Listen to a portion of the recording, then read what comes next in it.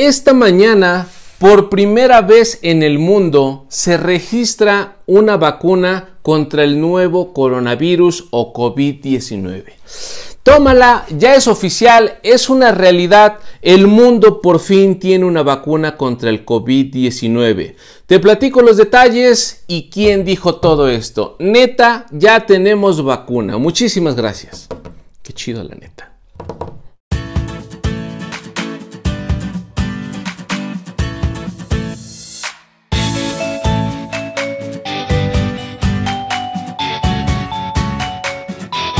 Pues quien dice esto, nada más y nada menos que es Lord Putin, nuestro gran comandante, domador de osos, leñador con sus manos y todo lo que se nos venga a la cabeza, montavelociraptores Putin, acaba de anunciar esta mañana, pues entendamos también el desfase de horario, que la vacuna rusa ya es una realidad, ya se registró, por fin y que naturalmente cubre con todos los protocolos. Así que esta guerra fría por las vacunas, esta nueva guerra fría, carrera médica, nada más y nada menos que la ganan los rusos. No el Capitán América ni los gringos. Neta la acaba de ganar la madre Rusia. Aquí es cuando te imaginabas tú el himno de Rusia en tu cabeza y yo ponía la mano así o no sé cómo, pero por motivos obvios de YouTube no lo voy a hacer y no me voy a arriesgar. Sigamos. Ahora sí, todo lo que nos importa de la vacuna. ¿Quién la hace? La hace el Centro de Investigación Gamaleya y con financiamiento exclusivamente ruso. Entonces, no hay de otra, es una vacuna netamente rusa. Siguiente pregunta, ¿cuándo va a estar disponible? Si bien es cierto, ya se pues, registra el día de hoy, se garantiza que hoy se registró, se va a empezar a producir hasta septiembre, lamentablemente hasta septiembre, y se dice que ya hicieron ahí unos pedidos bien, pero bien, bien chonchos, ¿ok? ¿Cuánto dura la inmunidad que da esta vacuna? Se supone que dura hasta dos años. ¿Y cuánto va a costar? No lo sé.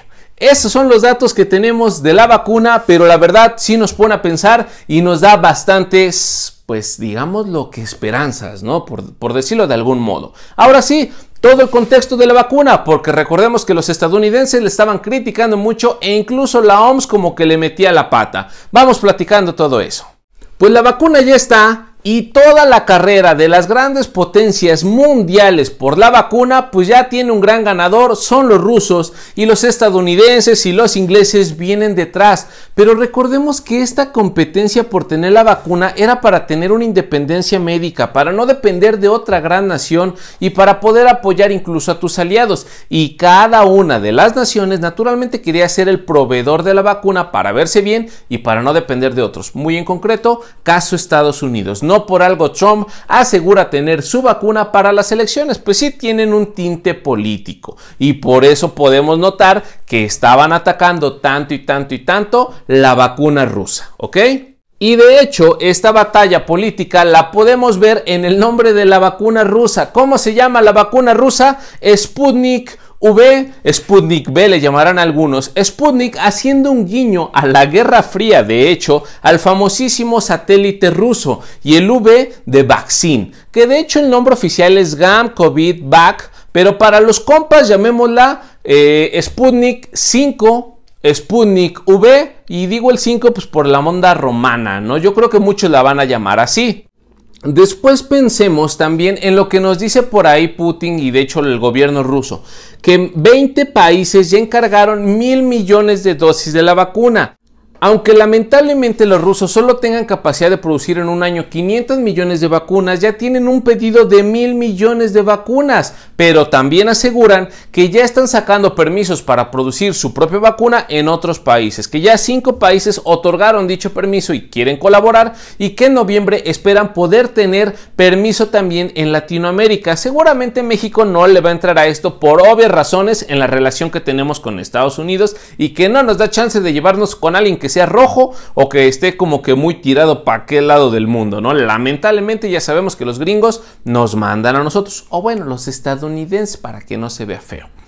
Y también otra cosa que hay que ponerse a pensar, ¿cuándo será comercial o cuándo podremos tener acceso a esta vacuna? Lamentablemente tendríamos que esperar hasta el primero de enero. Sí, es un tanto triste pues ver que la vacuna ya está, que la estaban anunciando y anunciando, pero pues yo sí esperaba que pudiéramos tener una vacuna antes del fin de año. Yo quería tener posadas no virtuales, yo quería tener un Halloween no en Zoom y cosas así, pero pues lamentablemente no va a pasar o al menos parece que no va a pasar. A mí me encantaría pensar que esto le va a picar la cresta a los estadounidenses, a los ingleses, a los indios y los va a motivar hasta los del agua M en el Edomex a hacer una vacuna más rápida y la más accesible, pero yo dudo que le puedan ganar fácilmente a los, a los rusos, ni siquiera me atrevo a garantizar, ojalá que sí, eh, que, que, la tengan muy rápido los estadounidenses. Pero pues para las elecciones que son en noviembre, ojalá ya tengamos vacuna, ¿no? No libramos el Halloween,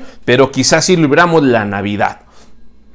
Y finalmente, hablemos del costo de esta vacuna. Como yo te decía, no revelan un costo, pero hace un par de meses, hace un menos, decían que la vacuna rusa costaría por ahí de los 70, 80 dólares, que de hecho sería entre las inglesas y las americanas el precio más competitivo y más bajo. Porque ¿cuánto van a costar contra las americanas? Por ejemplo, la que tiene más adelanto en pruebas, que es la de Moderna, se estima que cueste por ahí de unos 800 pesos mexicanos, 37, 40 dólares americanos, más o menos, por decir algo. Después, la que se tiene en alianza con Oxford y AstraZeneca, se estimaba que esa costara por ahí de los 70, 80 pesos, ¿no? O sea, no iba a ser tan cara, por ahí de los 3 euros, algo así.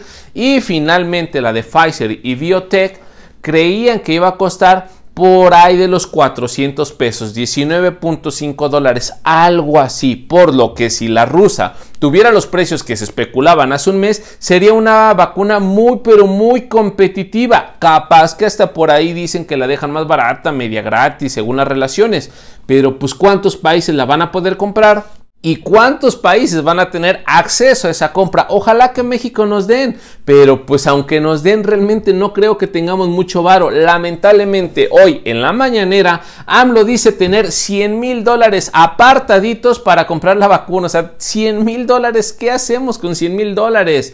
100 mil dólares ya también se dieron ahí en apoyo a, Líbano y qué bueno que estén apoyando, pero pues como que se le podría meter más varo a esto, suponiendo que tengamos eh, acceso a la vacuna de 20 dólares, por ejemplo, con 100 mil dólares solamente andamos vacunando unas 5 mil personas. Y sí, podrán decir, es que es muy accesible, 400 hasta 800 pesos. Pues sí, para un clase mediero que vive con 6 mil, 8, 10 mil pesos al mes, es accesible esta, esta vacuna, pero pues en México tenemos por estimaciones cerca de 90 millones de pobres, en donde vivir y comer día a día es todo un reto previo a la pandemia. Ahorita va a estar peor. Entonces, como que no es un paquete económico que alcance para vacunar a los más de 127 millones que somos en México. Entonces, como que dices, ah, chale, no, no está chido esto que está haciendo el gobierno, pero ojalá que pueda funcionar. La realidad es que la vacuna rusa ya está, llega para quedarse y ellos aseguran, a pesar de toda la propaganda negra que le están haciendo, que es funcional. De hecho, Putin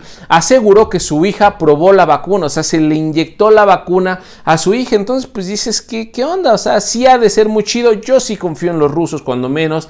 Siempre han estado muy adelante, pero pues nos han vendido que el Capitán América y otras cosas, pues como que están adelante de esto, que ellos ganaron la guerra mundial, o sea, también hay que ser un tantito imparciales para poder tener un juicio más asertivo al respecto de la vacuna rusa, ¿no? Yo creo, yo me la pondría, me interesaría saber en los comentarios, por favor, ¿tú crees que está bien? ¿Tú crees que está mal? ¿Tú crees que no están siguiendo los protocolos como se supone que la OMS le dijo, oye, calma, síguelos poco a poco?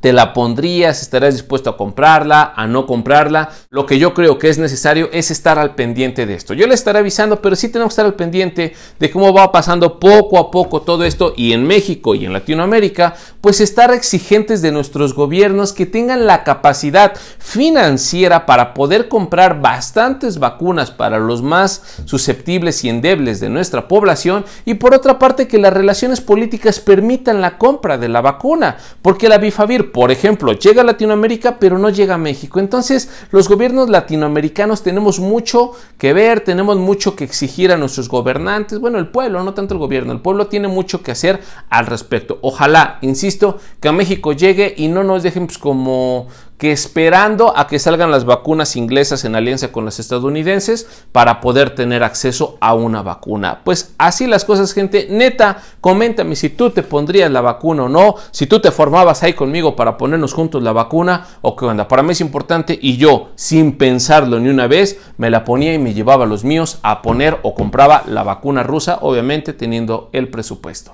Pues cuídense mucho, gente, de verdad Cuídense, cuídense mucho que todavía nos faltan algunos meses para poder tener acceso a una vacuna. Cuídense mucho, de verdad. Quédense en casa quienes puedan, estudien los que tengan que aplicar un examen porque no llega la vacuna para el Comipems por decir algo. Ah, y acuérdense que por ahí alguien dijo que las vacunas no tienen un buen efecto o no funcionan en obesos. Así que si no logro bajar de peso, fue un gusto gente. Muchísimas gracias. Compartan el canal, suscríbanse al canal y sean felices. Neta, gracias y qué chido porque ya tenemos cuando menos en lo, pues no, sí en lo real, una vacuna. Muchísimas gracias.